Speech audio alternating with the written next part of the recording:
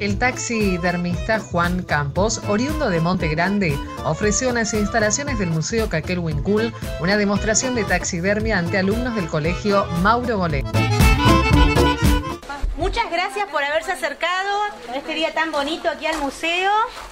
Le vamos a agradecer en primer lugar al señor Juan Campos, que muy generosamente está hoy con nosotros para hacer esta demostración de taxidermia. Aquí, bueno, primero escuchemos al señor Juan, que nos va a contar un poquito cuál es su trabajo, su hobby y esto que hace.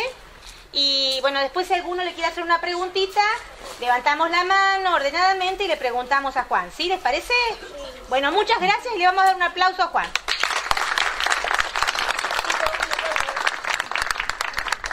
Para hacer este tipo de cosas tenés que tener tres cosas que son las fundamentales. Primero, tenés que tener estómago. Segundo, tenés que tener mucha, mucha, mucha paciencia, mucha tranquilidad principalmente para trabajar, para cuerear. Que yo lo que trabajo es con un bisturí, que es una herramienta sumamente eh, cortadora, corta muchísimo y a donde me equivoco, toco el cuero y me mandé una macana que ya no la puedo reparar. Y como base fundamental, tener gusto. Gusto para darle una vida, para darle una expresión, para darle... no hay que olvidarse que es un animal que está muerto y hay que darle vida y tratar de llevarlo a la mejor postura que pueda tener un animal cuando está vivo. Acá me han abierto las, las puertas del pueblo, me encontré con muchísima gente muy macanuda, he hecho infinidad de trabajos muy buenos. El que más eh, siempre lo digo fue, eh, fueron dos animales. Uno fue un pavo real que lo hice con el abanico abierto, con la cola abierta.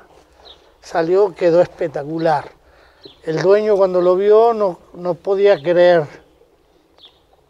Ese fue uno.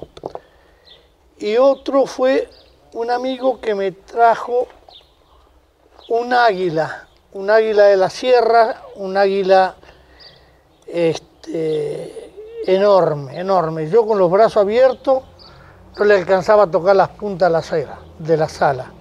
Este animal lo había hecho con una posición, eh, digamos, agresiva, una posición, este, pero me faltaba algo, me faltaba un toque de...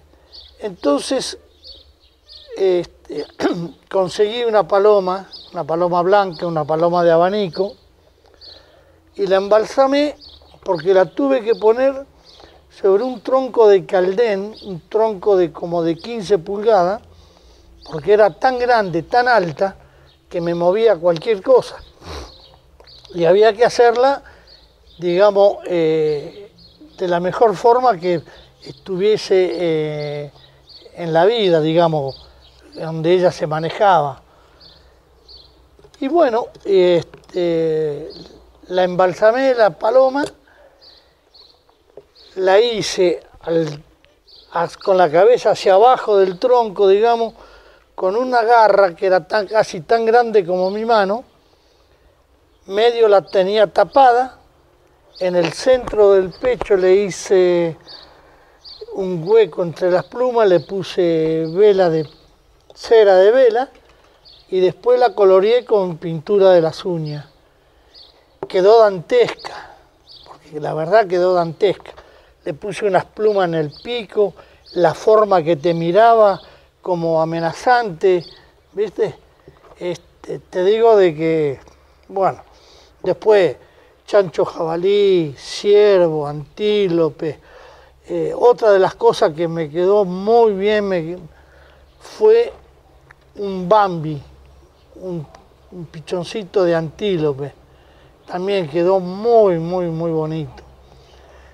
Y bueno, después, qué sé yo, gato monté, puma, este, eso no, se me viene en este momento en la memoria, ¿viste? Pero eh, afortunadamente mucho, mucho trabajo tuve, y no es por jactancia, sino de que, te digo, de que mis trabajos se conocen en muchas partes del mundo. Por eso te digo, esto no es una cosa muy difícil, pero es una cosa que la tenés que tomar con mucha delicadeza, tomarla con que te tiene que gustar la zoología, te tiene que gustar los animales, ¿entendés? Y bueno, no sabría más que decirte.